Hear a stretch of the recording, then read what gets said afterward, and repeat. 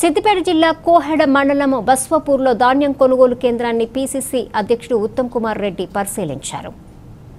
MLC Jeevan Reddy TPCC working president Ponnam Prabhakar AICC కార్యదర్శి సంపత్ కుమార్తో కలిసి ధాన్యం కొనుగోలు కేంద్రం వద్ద ఎదురవుతున్న సమస్యలను రైతులను అడిగి తెలుసుకున్నారు. అనంతరం మీడియాతో ఉత్తమ్ కుమార్ రెడ్డి మాట్లాడుతూ తాలుపేరిట మిల్లర్లు కోత విధిస్తూ ఉంటే ప్రభుత్వం ఏం చేస్తోందని ప్రశ్నిస్తూ పరోక్షంగా మిల్లర్లకు ఒత్తాసు పలుకుతుందన్నారు.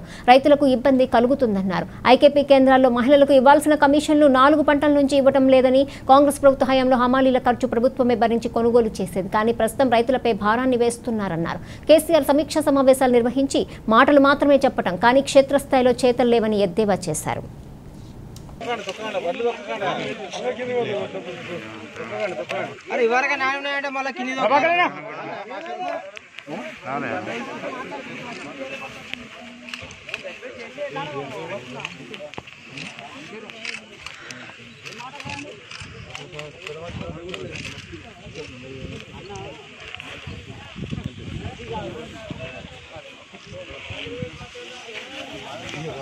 ఏంటంటే దేశంలో చాలా రాష్ట్రాల్లో తెలంగాణ కంటే చాలా మెరుగ్గా ఇప్పుడు ప్రొక్యూర్మెంట్ జరుగుతుంది.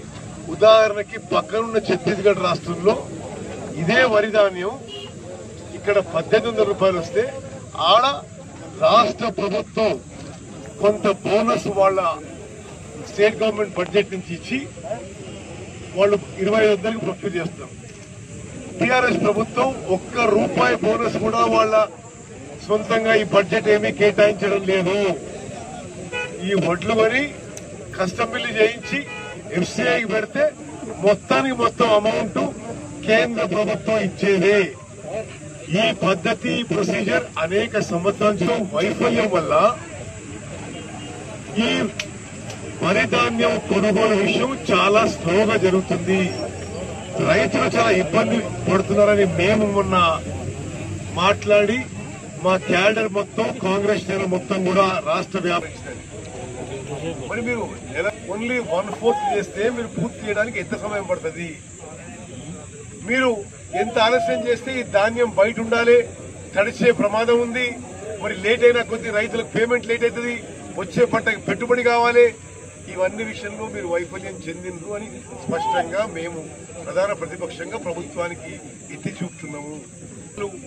సరిగ్గా సప్లై చేయడంలో మీరు పూర్తిగా విఫలమైనరు మరి ఇప్పుడైనా ఈ కొనుగోలు కేంద్రాల్లో కార్యక్రమాలు వేగవంతం చేయండి సమర్థతతో పనిచేయండి కేవలం మాటలకే పరిమితం కాకండి ఐకేపీ ఈ సమభావన సంఘాలకి ఇవ్వాల్సిన పైసలు ఇవ్వండి హమాలీలకి ఇవ్వాల్సిన పైసలు ఇవ్వండి రైతులను ఆదుకోండి అని చెప్పి చెప్పడానికి అదేవిధంగా మరి ఈ ప్రాంతంలో కొంత తాను అనే పేరుతో మరి రైస్ మిల్లర్లు రైతులను ఎక్స్ప్లాయిట్ చేస్తున్నారనే ఒక ఆరోపణ వచ్చింది.